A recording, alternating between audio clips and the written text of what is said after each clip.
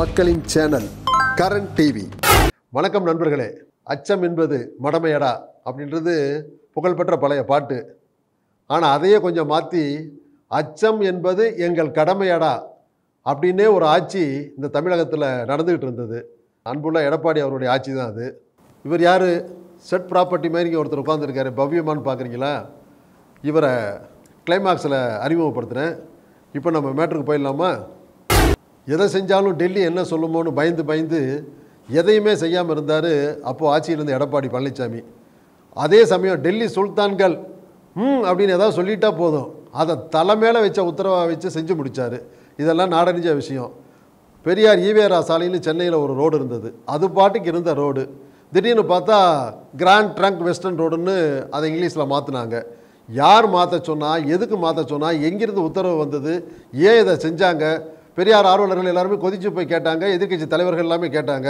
ஒரு பதிலும் கிடையாது. கப் சிப்புன்னு கிணத்துல போட்ட கல்லு மாதிரி இருந்தது. அப்போ இருந்த அரசு. யாருமே பதில் சொல்ல. ஒரு மிகப்பெரிய தமிழகத்துடைய மிகப்பெரும் தலைவர் தந்தை பெரியார்னு மதிக்கப்படுவருடைய பேர் வச்ச சாலைக்கு இந்த கதியா அப்படின்ட்டு திடீர்னு கொந்தளிச்சு போன பெரியார் ஆர்வலர்கள் அதை தார்பூசி அழித்தாங்க அது தனிக்கதை இப்படி இருந்த சூழலில் ரிப்பன் மாளிகைன்னு அழைக்கப்படுற சென்னை மாநகராட்சி அலுவலகம் இருக்குல்ல அது மேலே தமிழ் வாழ்கன்னு பிரம்மாண்டமாக ஒரு பெயர் பலகை இருந்தது. அதை திடீர்னு நீக்கிட்டாங்க. வழக்கம் போல் இதையும் யார் நீக்க சொன்னது? எங்கிருந்து உத்தரவு வந்தது? ஏன் நீக்கினாங்க? என்ன காரணம்? எதுக்குமே பதில் இல்லை. எல்லாரும் அப்போ இப்போ நிறைய கேள்விகள் கேட்டாங்க. சர்ச்சைகள் எழுந்தது. வழக்கம் போல் அதே கமுகத்தோடவே இருந்து எடப்பாடி அரசு பதிலே சொல்லாமல் சாதிச்சிச்சு. சரி தமிழ் வளர்ச்சித்துறை அமைச்சர்னு இதுக்குன்னு ஒரு அமைச்சர் இருக்கார்ல மாஃபா பாண்டியராஜன் ஒரு பேர். கேள்விப்பட்டிருப்பீங்க. மிகச்சிறப்பான தமிழ் வளர்ச்சித்துறை அமைச்சர். என்ன சொன்னார் தெரியுங்களா? சமஸ்கிருதம் தான் இந்தியாவுடைய தொன்மையான மொழி அப்படின்னு தமிழ் வளர்ச்சித்துறை அமைச்சராக இருந்துக்கிட்டு அவர் கண்டுபிடிச்ச மிகப்பெரும் கண்டுபிடிப்பு அது. அவர்கிட்ட போய் ஏங்க தமிழ் வாழ்கின்ற பேரை நீக்கினீங்கன்னு கேட்டால் பதிலாக சொல்ல போகிறாரு அது வேகாத பருப்பு. அதனால் அதை விட்டாச்சு. என்ன இவ்வளோ தூரம் பேசிகிட்டு இருக்கோம்? பக்கத்தில் இருக்கிறவர் எதுவுமே கண்டுக்காமல் இருக்கார்ல வர்றேன் கிளைமேக்ஸில் அந்த மேட்டருக்கு வந்துடுறேன். ஸோ தமிழ் வளர்ச்சித்துறை அமைச்சர் வந்து அவர்கிட்ட கேட்டாலும் பதில் வராது. அவரும் கப்சிப்புன்னு ஆயிட்டாரு. எடப்பாடி வழக்கம் போல் எதையுமே கண்டுக்காதவர் இதை மட்டுமா கண்டுக்க போகிறாரு அவரும் அப்படியே விட்டுட்டாரு. இருந்தாலும் ரொம்ப தீவிரமாக அதை பற்றி விசாரித்தப்போ பராமரிப்பு பணிகளுக்காக தமிழ் வாழ்க என்ற அந்த பெயர் பலகையை கலட்டிட்டோன்னு ஒரு தரப்பு சொல்லிச்சு.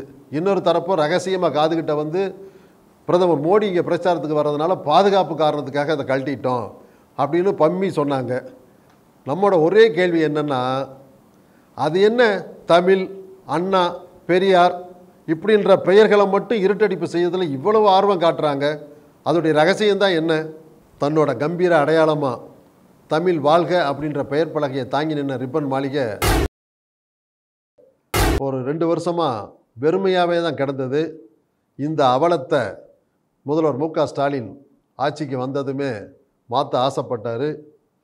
தமிழ் வாழ்க தமிழ் வளர்க அப்படின்ற ரெண்டு பெயர் பலகைகள் நேற்று முத்தமிழ் அறிஞர் கலைஞருடைய பிறந்தநாளை முன்னிட்டு ரிப்பன் மாளிகையுடைய உச்சியில் அமைச்சர்கள் Ma. Subramanian K. N. Nehru Dayanidhi Maran MP Udhayanidhi Stalin MLA இவங்களோட முன்னிலையில் ரொம்ப சிறப்பாக திறக்கப்பட்டது.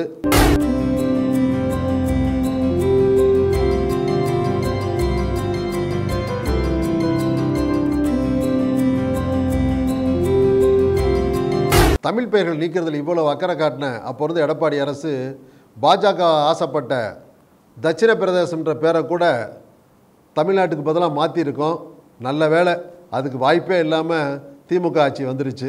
நம்ம என்னதான் பேசினாலும் அதை பற்றி கண்டுக்காமல் கட்டுன கையும் கப்சிப்புன்ற உருவமாகவே ஒருத்தர் உட்காந்துருக்காருன்றீங்களா இப்படி தாங்க எடப்பாடி ஆட்சியில் எப்படி இருந்தார் எடப்பாடின்றதுக்கு இந்த இருக்காரு இவர் தான் உதாரணம். பாருங்க நம்ம இவ்வளோ தூரம் இவ்வளவு பொங்கி பேசுகிறோம் எதையும் காதில் போட்டுக்காம கட்டின கையோட கப்சிப்புன்னு இருக்கார் பாருங்க. இந்த லட்சணத்தில் இருந்தால் எப்படி நம்ம கோரிக்கைகள் நிறைவேறி இருக்கும்? நல்ல வேலை காட்சியும் மாறிச்சு ஆட்சியும் மாறிச்சு. வெல்க தமிழ் வாழ்க தமிழ். மக்களின் சேனல் கரண்ட் டிவி.